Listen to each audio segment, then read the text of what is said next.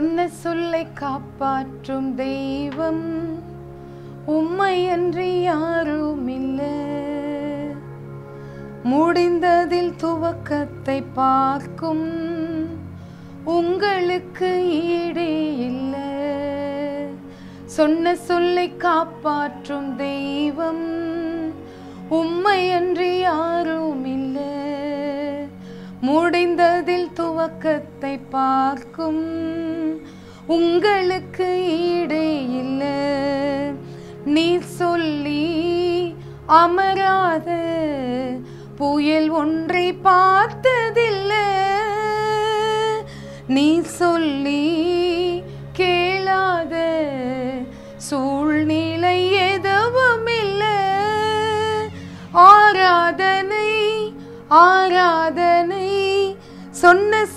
காப்பாற்றும் இயேசுவுக்கே. ஆராதனை ஆராதனை வார்த்தையை நிறைவேற்றும் இயேசுவுக்கே. ஆராதனை ஆராதனை சொன்ன சொல்லை காப்பாற்றும் இயேசுவுக்கே. ஆராதனை ஆராதனை வார்த்தையை நிறைவேற்றும் இயேசுவுக்கே. சொன்ன சொல்லை காப்பாற்றும் தெய்வம் உம்மையன்றி யாரும் இல்லை முடிந்ததில் துவக்கத்தை பார்க்கும் உங்களுக்கு ஈடே இல்லை. ஆண்டவராகிய இயேசு கிறிஸ்துவின் நாமத்தினாலே உங்களை வாழ்த்தி வரவேற்கிறேன். அன்பான ஜெயம் டிவி நேயர்களே இயேசு கிறிஸ்துவின் ஆசிர்வாத மழை என்கிற ஊழியத்தின் சார்பாக உங்களை சந்திப்பதில் மிக்க மகிழ்ச்சி அடைகிறேன். இந்த வார்த்தை உங்களுடைய வாழ்க்கைக்கு மிகவும் பிரயோஜனம் உள்ளதா இருக்கும் என்று நான் விசுவாசிக்கிறேன். நீங்களும் விசுவாசிக்கிறீர்களா? மார்க்கு சுவிசேஷ புஸ்தகம் ஏழாம் அதிகாரம் பதினான்காம் வசனம் சொல்லுகிறது பின்பு அவர் ஜனங்கள் எல்லாரையும் வரவழைத்து அவர்களை நோக்கி நீங்கள் எல்லாரும் எனக்கு செவி கொடுத்து உணருங்கள். அம்மேன் ஹலெலூயா ஆண்டவர் ஊழியம் செய்த நாட்களிலே தனக்கு முன்பாக இருந்த எல்லா ஜனங்களையும் பார்த்து சொல்லுகிறார் நீங்கள் எனக்கு செவி கொடுங்கள். அது மாத்திரமல்ல செவி கொடுத்து எதற்காக செவி கொடுக்கிறீர்களோ அந்த வார்த்தையை உணருங்கள். அதில் என்ன இருக்கிறது என்று உணருங்கள். எவ்வளவு அன்பான தேவன் கிளி பிள்ளைக்கு சொல்லிக் கொடுப்பது போல தன் பிள்ளைகளுக்கு அவர் சொல்லிக் கொடுக்கிறார். முதலாவது நாம் செவி கொடுக்க வேண்டும். இரண்டாவது எதற்கு செவி கொடுத்தோமோ அந்த விஷயத்தை எடுத்து உணர வேண்டும். உணர வேண்டும் என்றால் என்ன? என்ன சொல்லி இருக்கிறார் இதுல என்ன நமக்கு ஆசிர்வாதம் இருக்கிறது என்று சொல்லி நாம் தியானிக்க வேண்டும். அதையே நாம் தொடர்ந்து படித்து அதில் உள்ள ஆசிர்வாதங்களை பெற்றுக்கொண்டால் அது மிகவும் நம்முடைய வாழ்க்கைக்கு பிரயோஜனமாய் இருக்கும் என்று ஆண்டவராகிய இயேசு கிறிஸ்து எல்லா ஜனங்களையும் பார்த்து சொல்லுகிறார். எனக்கு அன்பான தேவ பிள்ளைகளே அப்படி என்ன சொல்லுகிறார் என்று நாம் பார்ப்போமா? ஆண்டவராகிய இயேசு கிறிஸ்து அதே மார்க் புஸ்தகத்திலே ஏழாம் அதிகாரம் இருபது இருபத்தி ஒன்று இருபத்தி ரெண்டு இருபத்தி மூன்று. மனுஷனுக்குள்ளே இருந்து புறப்படுகிறதே மனுஷனை தீட்டுப்படுத்தும். ஹலைலூயா என்ன சொல்ல வருகிறார் ஆண்டவர்? கவனமாய் நாம் கவனித்தோமானால் மிகவும் நமக்கு பிரயோஜனமாய் இருக்கும். மனுஷனுக்குள்ளே இருந்து புறப்படுகிறதே மனுஷனை தீட்டுப்படுத்துமாம்.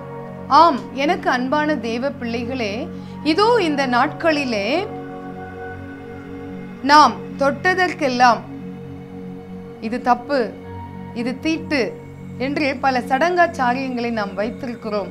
ஆனால் தேவன் சொல்லுகிறார் நீ வெள்ளிக்கிழமை ஆனால் நான்வெஜ் சாப்பிட மாட்டோம். செவ்வாய்க்கிழமைனா நான்வெஜ் சாப்பிட மாட்டோம். இந்து பிள்ளைகள் முஸ்லீம் பிள்ளைகள் கிறிஸ்தவ பிள்ளைகள் என்று நாம் வேறுபடுத்தி பார்க்கிறோம்.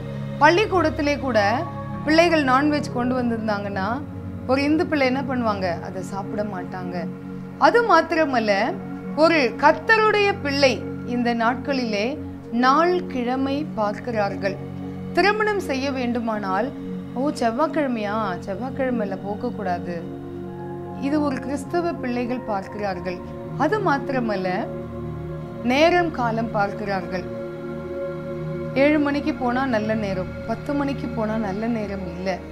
எனக்கு அன்பான தெய்வ பிள்ளைகளே தேவன் உங்களை படைக்கும் பொழுது எல்லா நேரங்களையும் எல்லா பொருள்களையும் எல்லா மணிகளையும் எல்லா வாரங்களையும் ஆசிர்வதித்துதான் நம்ம இந்த பூமியிலே படைத்தார். அப்படி இருக்கும் பொழுது நீங்களும் நானும் சில காரியங்களை தீட்டு என்று சொல்லி ஒதுக்குவது தவறு என்று தேவன் சொல்லுகிறார். அதே மார்க் புஸ்தகத்திலே தேவன் சொல்லுகிறார் உனக்குள்ளிருந்து புறப்படுவதுதான் மனுஷனை தீட்டுப்படுத்துமாம். அது என்ன என்று பார்ப்போமா? எப்படி எனில் மனுஷருடைய இருதயத்திற்குள்ளிருந்து பொல்லாத சிந்தனை முதலாவது. எனக்கு அன்பான தேவ பிள்ளைகளே நாள்கிழமை பார்த்து கரிமீன் சாப்பிடுறதுனால ஒரு பிரயோஜனமும் இல்லை.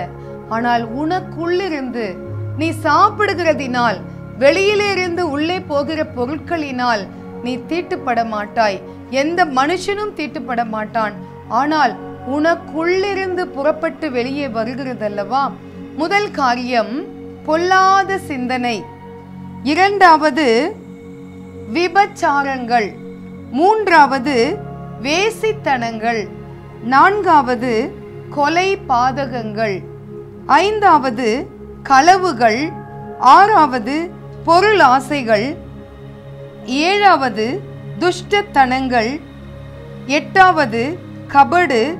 ஒன்பது காம விகாரம் பத்து வன்கண்ணும் தூஷணமும் பெருமையும் மதிகேடும் புறப்பட்டு வரும்.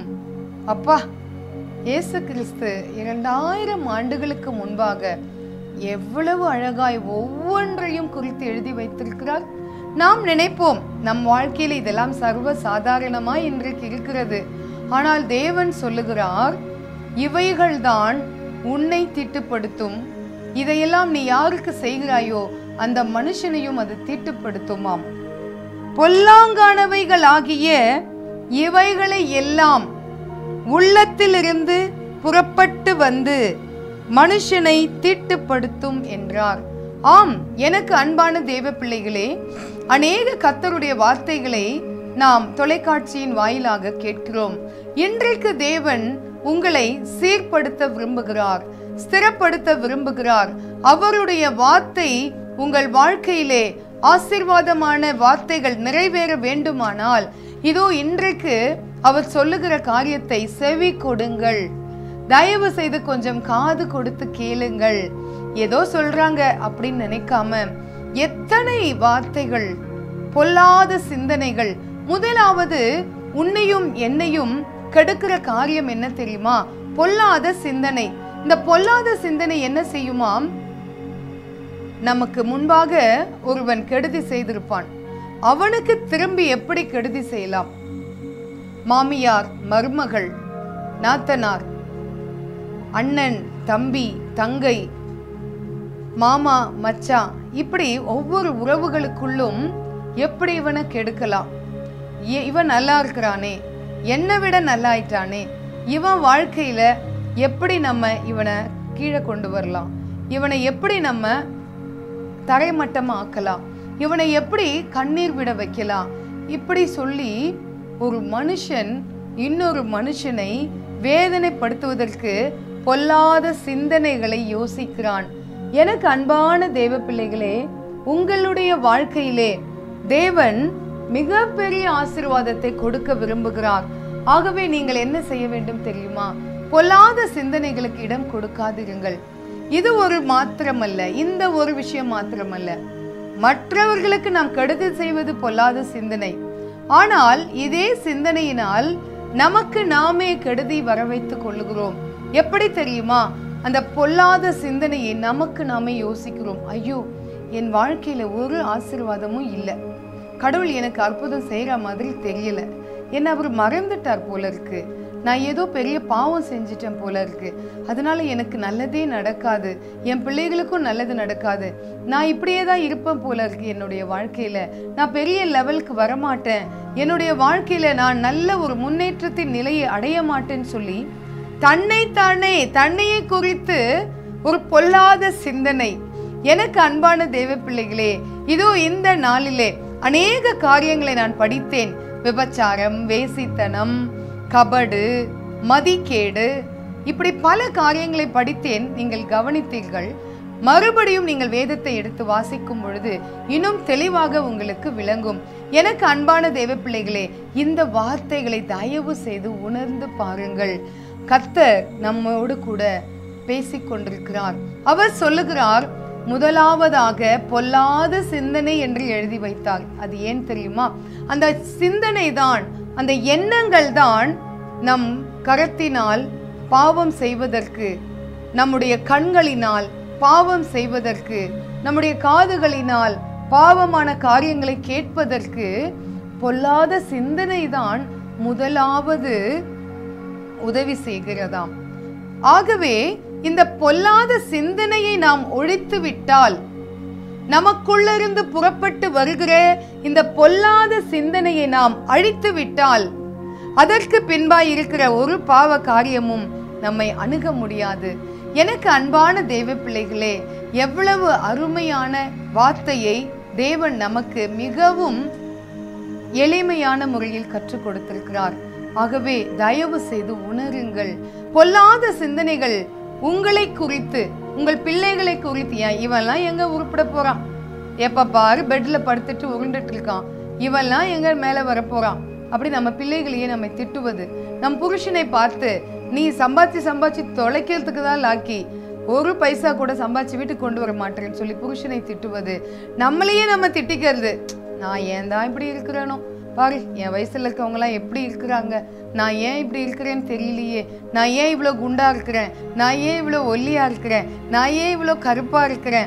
இப்- நான் ஏன் இவ்வளோ குள்ளமா இருக்கிறேன்? இப்படி தன்னை தானே வருத்தி கொள்வதற்கு காரணம் என்ன தெரியுமா? உங்களுக்குள்ளிருந்து புறப்பட்டு வருகிற பொல்லாத சிந்தனைகள் பொல்லாத எண்ணங்கள். இந்த எண்ணங்களை அழித்து விட்டீர்களானால் நிச்சயமாகவே உங்களை எந்த பாவமும் தொடாது எந்த காரியமும் உங்களை தீட்டுப்படுத்தாது.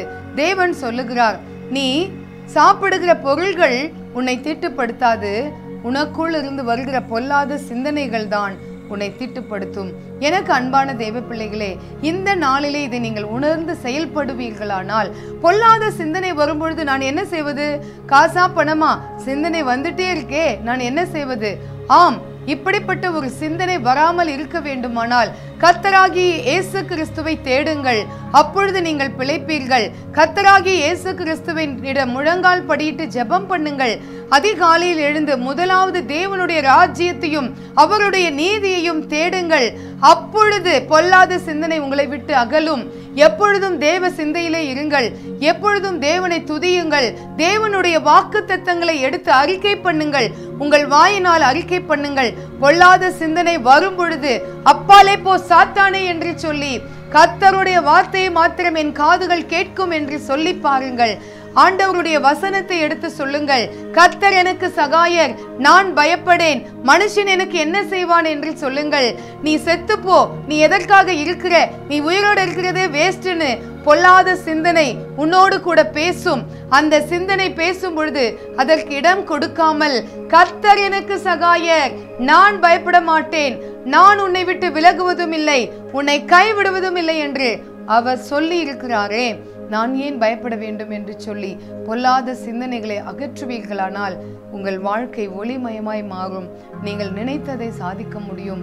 கர்த்தராகிய இயேசு கிறிஸ்து உங்களோடு கூட இருந்து உங்களை ஆசீர்வதித்து உயர்த்துவார்.